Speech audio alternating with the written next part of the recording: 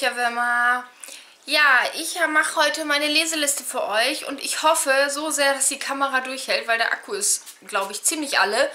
Und ich aber keine Zeit mehr habe, jetzt diesen Akku noch aufzuladen. Ich hoffe, das hält. Ähm, deswegen legen wir auch gleich los. Und zwar habe ich mir für den Monat April eine kleine Challenge für mich selber ausge ausgedacht, nicht, aber ähm, gesetzt. Denn ich habe im März sau, sau, sau, sau viele Bücher gekauft. Und das ist Sammy. Und ich will einfach mal ein bisschen meinen Sub wieder verringern, weil der ist tschu, ein bisschen wieder in die Höhe geschossen. Und deswegen habe ich mir eine kleine Challenge gesetzt. Und zwar, da ich ja immer so um und bei 16, 17 Bücher schaffe, ähm, habe ich mir die Challenge gesetzt, ich möchte im Monat April 20 Bücher schaffen. Deswegen habe ich jetzt auch eine strikte Leseliste, an die ich mich auch strikt halten möchte, weil ich jetzt nämlich im März auch nur bedingt dran gehalten habe. Und ja, ich lege einfach mal los. Und zwar habe ich, äh, achso, das hat auch noch einen anderen Grund, nicht nur die Neuzugänge, sondern auch, weil ich noch ein paar Rezi-Exemplare hier habe und äh, so weiter und so fort. So, legen wir gleich los. Und zwar habe ich ein E-Book, das habe ich gestellt bekommen von der Autorin selbst. Und zwar ist das von J.S. Wonder. Äh, und täglich ohne dich. Es spiegelt gerade ein bisschen, aber ich habe auch keine Zeit noch groß zu schneiden, deswegen, es tut mir leid. So. Ähm, sie hatte mich angeschrieben und ich habe mir das dann durchgelesen und habe halt gedacht, habe so gesehen und ich denke, oh, das hört sich richtig, richtig gut an. Und ich glaube fast, dass ich wirklich bei dem dann auch den zweiten Teil direkt hinterher lesen möchte. Ähm, auf jeden Fall freue ich mich mega auf dieses E-Book. Ähm, es hört sich so super genial an. Es geht halt um eine Frau, die immer wieder an dem gleichen Tag aufwacht und es gibt nur einen anderen Menschen, den trifft sie irgendwann und der weiß halt, dass es immer wieder derselbe Tag ist. Und ja, das hört sich auf jeden Fall mega spannend an. Ähm, ja, dann gehen wir gleich weiter mit dem Buch. Wie ihr seht, ist da schon ein Lesezeichen drin. Das habe ich im März nämlich schon angefangen, von Julie Kagawa, Unsterblich.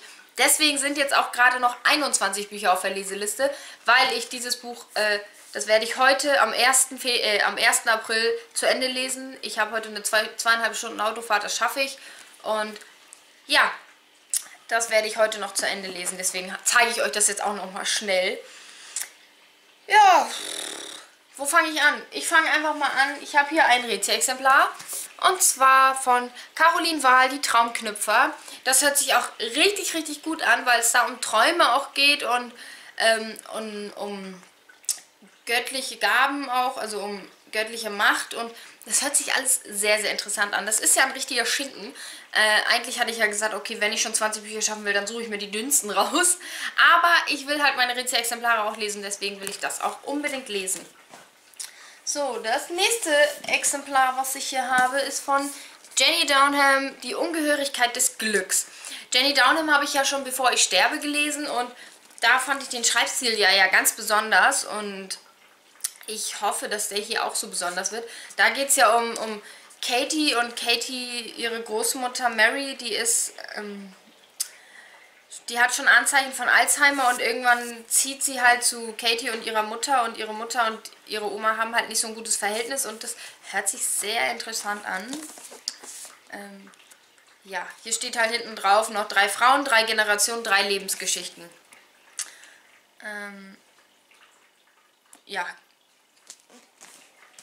dieses Thema Alzheimer finde ich auch sehr interessant. Ich habe ja neulich Honig im Kopf geguckt und den Film fand ich ja so traurig. Und manchmal braucht man halt so ein bisschen was, was einen so ein bisschen sentimental macht. Und deswegen hoffe ich, dass dieses Buch das bei mir auslösen wird. Ähm, ja. Dann habe ich hier noch eins, das ist dann auch das letzte Rätselexemplar und zwar von Molly McAdams, Love and Lies, Alles ist erlaubt. Das ist der erste Teil, der zweite Teil ist ja jetzt auch schon rausgekommen. Ich erhoffe mir dadurch eine nette Geschichte für zwischendurch. Es sei denn, sie kann mich überraschen, aber ich habe halt auch schon einige Meinungen dazu gehört und ja, ich habe nicht sehr viele Erwartungen an dieses Buch. Aber nichtsdestotrotz freue ich mich, denn auch ich brauche mal zwischendurch ein Buch, was einfach locker leicht sich durchlesen lässt. Ja, fangen wir doch einfach mal mit den Büchern an, die ich mir jetzt in der letzten Zeit neu gekauft habe. Und zwar das allerneueste, nee, naja, fast das allerneueste ist von Patricia Spichalski. Heute sind wir Freunde. Dieses Buch habe ich überraschenderweise eine Woche vor Erscheinen, vor offiziellem Erscheinen schon ergattern können und ich habe mich mega gefreut und deswegen möchte ich das jetzt auch unbedingt so schnell wie möglich lesen. Ähm, da geht es um fünf Jugendliche, die halt in der Schule festsitzen, weil die da eingeschlossen werden und sie über Nacht da bleiben. Und eigentlich verstehen sie sich alle nicht so gut, aber in dieser Nacht passiert wohl einiges und die gehen halt als Freunde wieder hinaus. Also hier steht dann, am nächsten Morgen ist nicht nur ein Liebespaar aus der Nacht hervorgegangen, sondern auch fünf Freunde, die es gestern noch nicht waren, aber heute sind und es vielleicht sogar bleiben. Es hört sich mega interessant an, weil das ist so ein Szenario, wo halt Leute, die sich eigentlich überhaupt nicht verstehen oder sie meinen, sie verstehen sich nicht, ähm, sich näher kennenlernen, gezwungenermaßen und sich dann doch relativ gut verstehen oder richtig gut verstehen. Und das hört sich für mich interessant an, weil Freunde findet man nicht an jeder Straßenecke. Und deswegen, ja, dann habe ich mir noch ähm, drei Bücher rausgesucht. Und zwar diese drei Bücher von Jay Award und zwar ist das von Black Dagger die Reihe Teil 2, Teil 3 und Teil 4.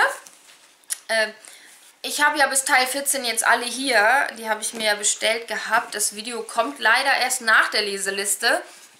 Aber das werdet ihr noch sehen. Ich habe mir halt ein paar Bücher bestellt. Und ich habe mir jetzt aber nichtsdestotrotz trotzdem nur drei ausgesucht. Ich hätte mir auch nur zwei aussuchen können, aber dann wäre mittendrin so ein Cut, weil die englischen Bücher von Black Dagger, das sind ja immer zwei Bände aus dem Deutschen. Und Teil 1 habe ich ja schon gelesen und dann Teil 2 und dann wieder noch einmal die beiden zusammen ergibt dann im Englischen zwei, also im Original zwei Bücher. Deswegen habe ich mir die auch noch ausgesucht. Dann habe ich mir, weil ich ja gesagt habe, ich möchte auch ein paar dünne natürlich haben, wenn ich so viele lesen möchte, habe ich mir von Abby Glines, weil die lassen sich an einem Tag auch ganz gut lesen, ähm, Twisted Perfection und Simple Perfection. Ich habe ja Rush of Love und die vier von Rush of Love habe ich halt durchgelesen und das sind ja die danach, die danach kommen es geht ja immer weiter mit anderen Protagonisten und deswegen habe ich mir die beiden jetzt rausgesucht. Hier geht es ja um Woods und... Wie hieß sie noch? Woods und Della weiter. Und ja, von Jojo Moyes, eine Handvoll Worte. Das habe ich von meiner Mutter bekommen, weil sie das aussortiert hat und ich will das unbedingt lesen, weil ich auch das erste von, das andere von Jojo Moyes ein ganzes halbes Jahr richtig, richtig, richtig, richtig gut fand. Und ich hoffe, dass mich das auch so begeistern wird. Ja, dann natürlich wieder ein dünnes Buch, was ich mir rausgesucht habe. Und zwar von John Green, Magus Spuren.